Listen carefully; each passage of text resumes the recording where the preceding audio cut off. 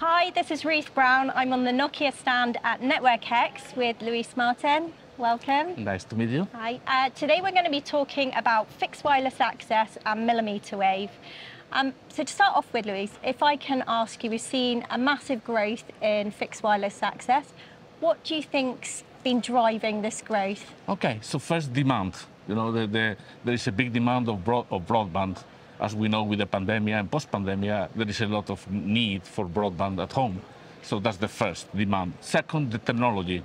Uh, with, the, with 5G, we were talking about fixed wireless access for long, but with 5G, uh, we have now the technology that can deliver the, the speeds that are needed for the fixed wireless access, so the, the, the technology. And third, agility. Mm -hmm. Fixed wireless access deployment is very agile.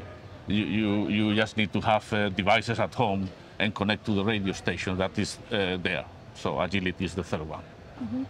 And what do you think's been key to the success of fixed wireless access? So Yes, uh, fixed wireless access has uh, some, with respect to the mobile uh, handsets, it has a need of, of quality of service, uh, and we need to cope with that. So we, we have three main uh, areas where we in Nokia focus. First is the easy of use.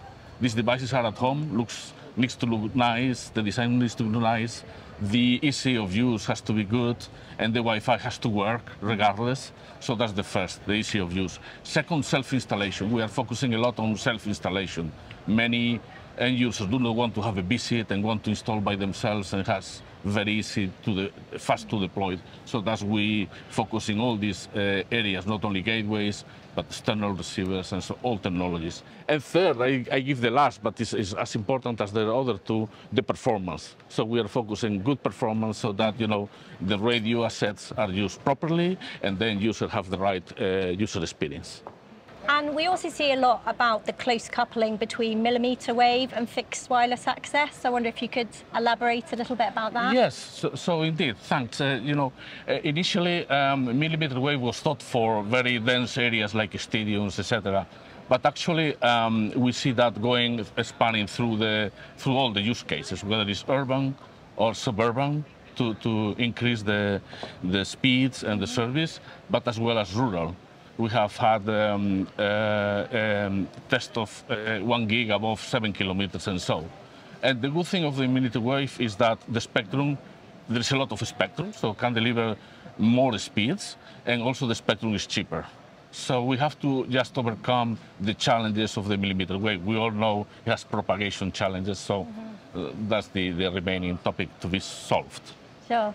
And there's also a lot of innovation around millimeter wave. What specifically are Nokia doing in this space? Yes, uh, so I was saying that we all know that millimeter wave has a lot of spectrum, it's cheap, but it has the challenges of propagation and attenuation. So we have to cope with that.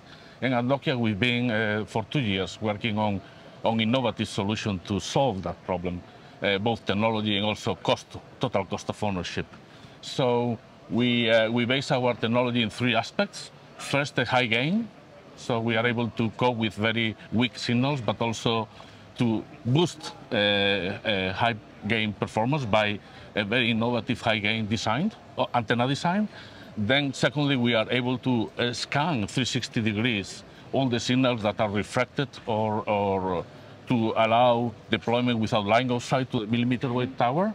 And third, we have a very intelligent algorithm that cope with the best signal all the time. And as you know, uh, millimeter wave can be obstructed by humans yeah. or trucks or, or a pet.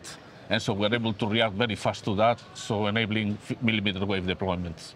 Fantastic. Well, thank you for sharing the details with me today. Okay, it's been you. really great talking. Thank you.